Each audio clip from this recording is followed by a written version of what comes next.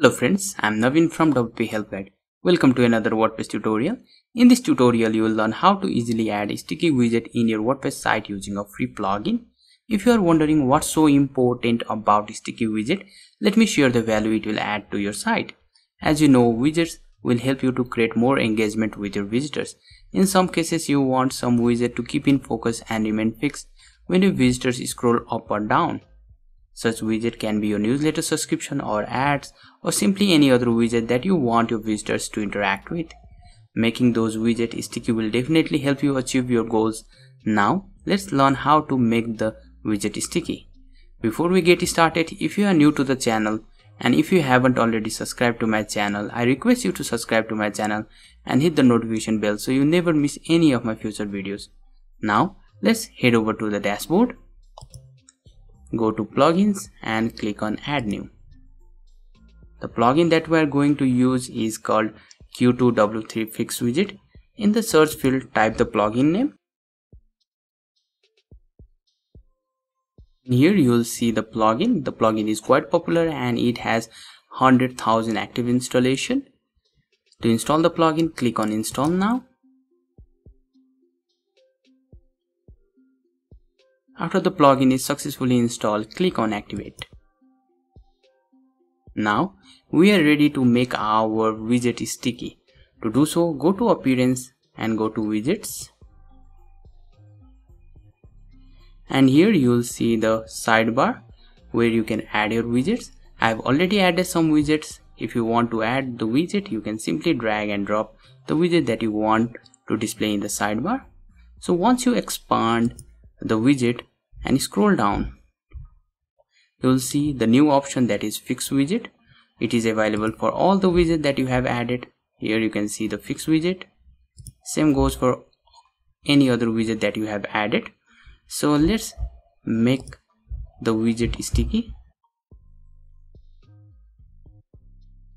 In this case i want to make the newsletter widget as a sticky. So let's enable this option and click on save.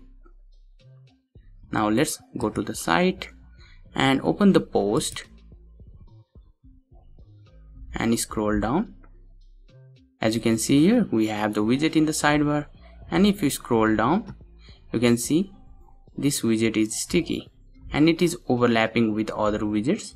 We'll fix that in a moment. So now if you scroll down to the post you will see this widget is fixed.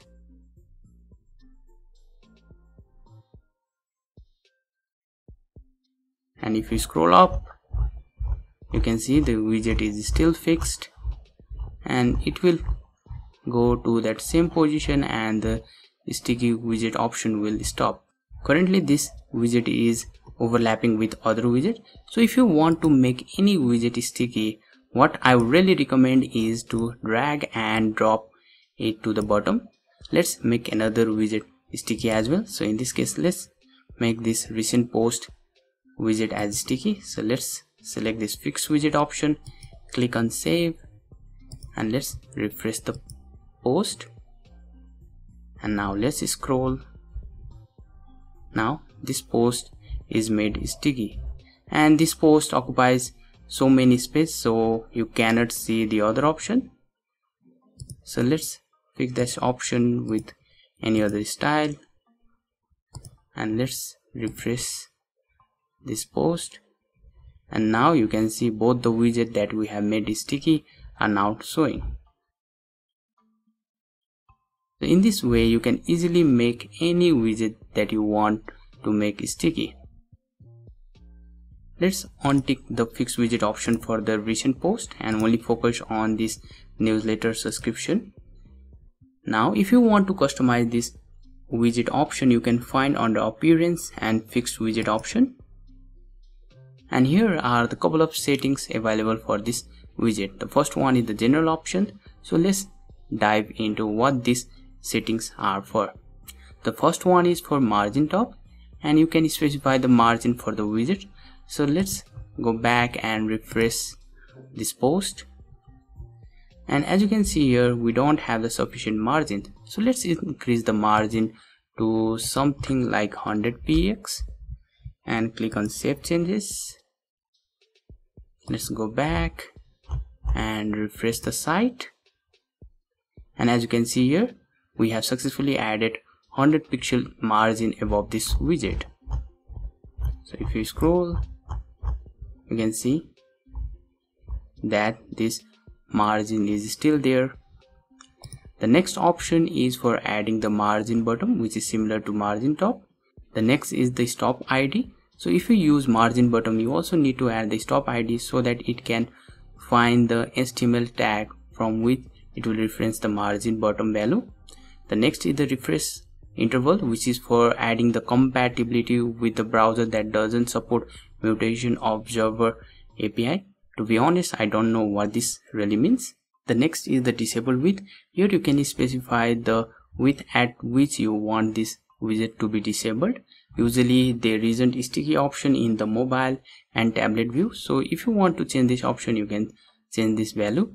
The next is the disable height same as the disable width. The next setting is for compatibility.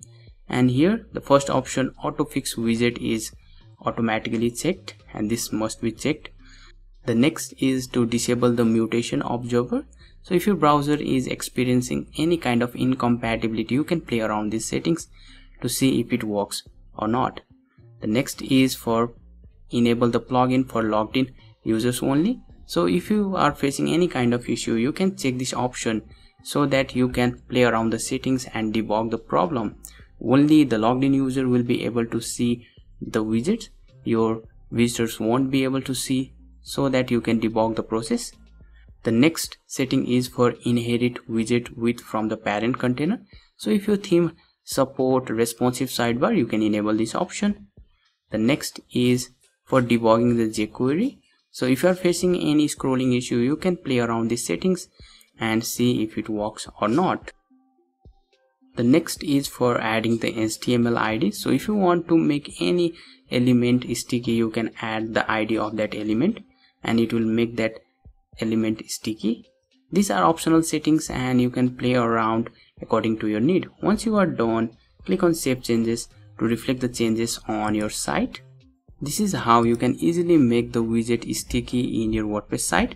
I hope this video was helpful. If you find this tutorial useful, please like the video and hit the subscribe button for more WordPress related tutorial. If you have any question or just want to share any thoughts, please feel free to let me know in the comments below.